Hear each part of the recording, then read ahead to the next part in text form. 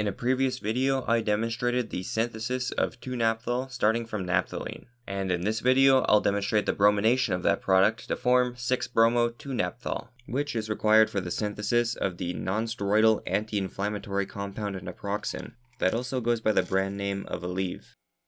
For this preparation, I'll be following the 1940s paper from Organic Syntheses. However, I'll be running the reaction at a 0.28 scale as compared to what was done in this paper.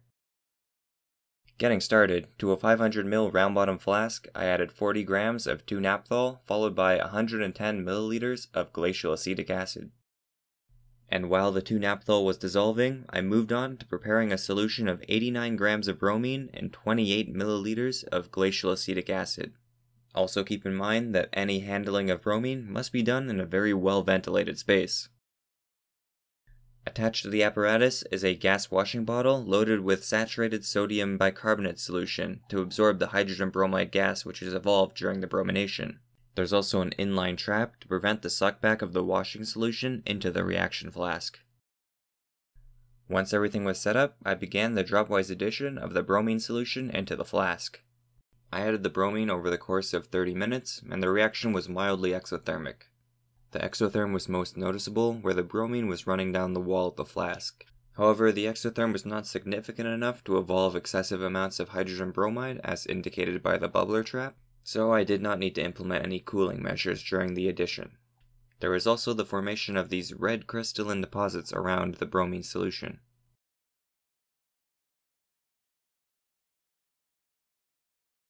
Once the bromine addition had been completed, I opened up the flask, which released quite a bit of hydrogen bromide vapor, and I then quickly added 28 milliliters of water before sealing the flask back up.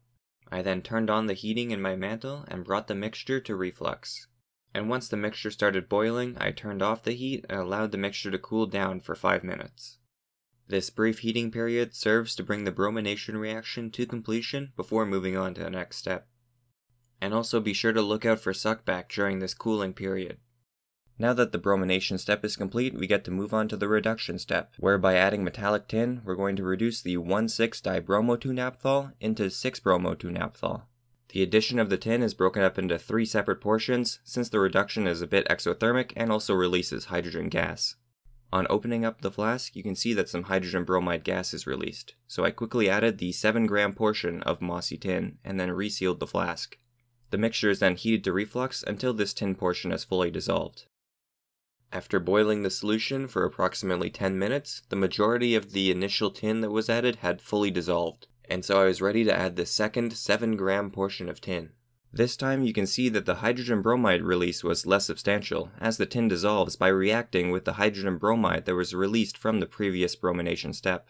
The second tin portion took around 15 minutes to dissolve, just slightly longer than the first one. I then got ready to add the third and final portion of tin. This time, a larger 27.8 gram portion of tin is added. In this clip, you'll see why the tin addition was broken up into three portions. Since when I tried to pour in this larger tin portion, it got stuck in the funnel this time.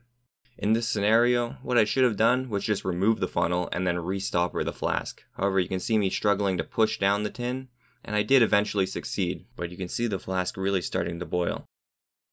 Though in the end, I did manage to get away with it. However, it's a good lesson on why you shouldn't overfill your flasks, and also a good learning experience in case something like this happens again.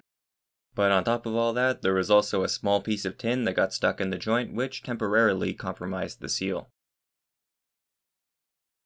With the tin additions completed, now the mixture simply needs to be refluxed for 3 hours to allow the reduction to proceed.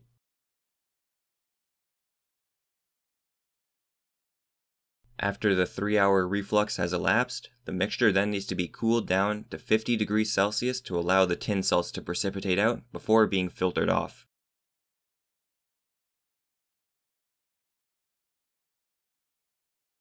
Once the temperature of the mixture hit 50 degrees Celsius, I filtered it using a vacuum aspirator and then washed the precipitate with 30 milliliters of cold glacial acetic acid. The product was then crashed out from the filtrate by pouring it into 850 milliliters of ice cold water.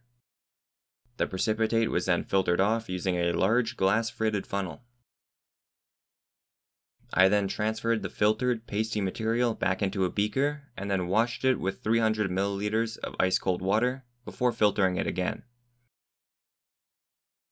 I then moved the material into a glass tray and let it air dry for two days, after which it still wasn't fully dry, so I transferred it into a flask and then dried it under vacuum with a hot water bath. But even after 7 hours of drying under vacuum, the material still wasn't fully dry, so I decided to just move on to the vacuum distillation. Now the procedure claims that the crude material recovered directly from the reaction is pure enough for most purposes, but I wanted to show the entire procedure, so I decided to showcase the distillation as well. The vacuum distillation is quite intensive since the 6-bromo-2-naphthol boils at a very high temperature, even under vacuum. The OrgSyn paper ran its distillation at 20 millimeters of mercury and collected everything in the range of 200 to 205 degrees Celsius. However, my vacuum pump only went down to 50 millimeters of mercury and I ended up collecting over the range of 220 to 250 degrees Celsius. Although this is not such a big concern, as the main point of this distillation is to remove the non-volatile tin salts. But there is another issue with this distillation, being that the product melts between 120 and 130 degrees Celsius, so the whole time I had to assist the distillation with a heat gun to ensure that the condenser didn't get clogged. If I were to run this distillation again, I'd opt for a much simpler setup and forego the cowbell, as I didn't end up needing to use it. I ended up collecting 53.9 grams of distillate, which corresponds to an 87% yield. According to the OrgSyn paper, the yield after distillation can range from 77 to 96%, so I got a fair value. However, we're not done with the purification just yet. The next step is to recrystallize the distillate from a mixture of acetic acid and water. And so to start, I added 170 milliliters of glacial acetic acid and then heated until all of the material was fully dissolved.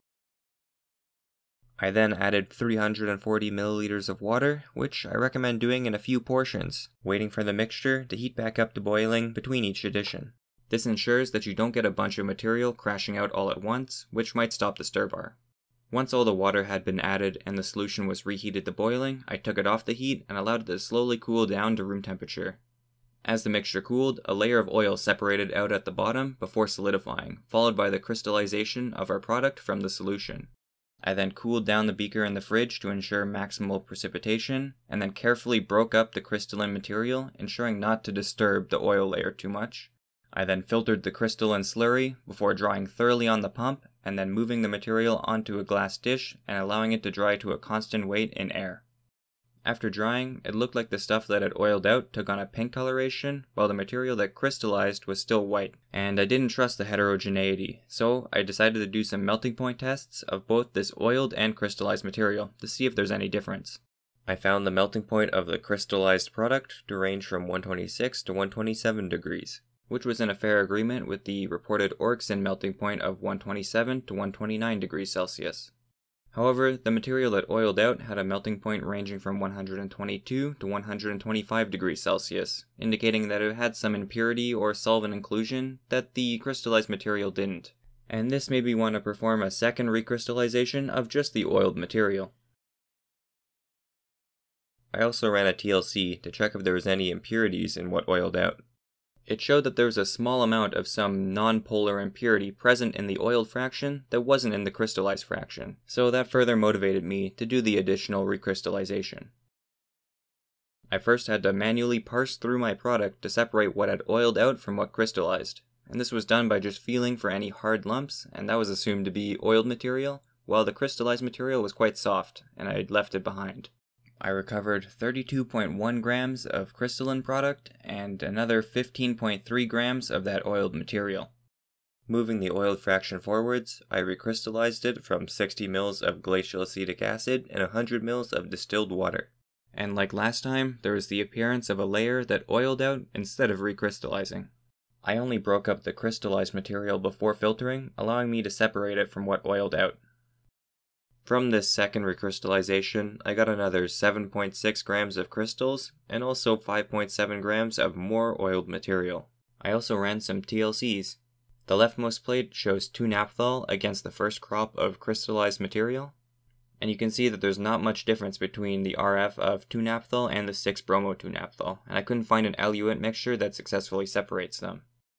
The middle plate is with the first and second crops of crystallized material, and the rightmost plate is with the first crop of crystallized material and the second crop of oiled material. and you can see that there's still that high RF spot from both the crystallized and oiled material from the secondary crystallization, though it is a very faint spot at that. Using Vanillin stain, the starting 2-naphthol takes on a color much more rapidly and develops a much stronger color than the 6-bromo 2-naphthol product. However, I wasn't super satisfied with this stain as it just gave spots with two different shades of the same color. So I decided to do one last test to figure out if I could differentiate between 2-naphthol and 6-bromo 2-naphthol, and for that I took a mixed melting point. I combined equal masses of 2-naphthol and the 6-bromo 2-naphthol, and then finely ground them together. If the two compounds are different, it typically results in a melting point depression, whereas if the two compounds were the same, then the melting point should be unchanged. When I took the melting point, I got a result of 97 degrees Celsius, far below both the melting points of 2-naphthol and 6-bromo 2-naphthol, indicating that I have two different compounds and on taking all the data together, I'm confident in saying that I have made 6-bromo 2-naphthol. And in the future, I'll also be using this product in my naproxen synthesis, so you'll also get to see all the characterization data from the derivatives I make from this. In other news, the channel just hit 5,000 subscribers, which I'm immensely thankful for. It's nice to see that the channel is still growing a little despite my infrequent posting. And of course, I'd like to give a big thanks to all my subscribers and Patreons for sticking around and supporting the channel. Thanks for watching.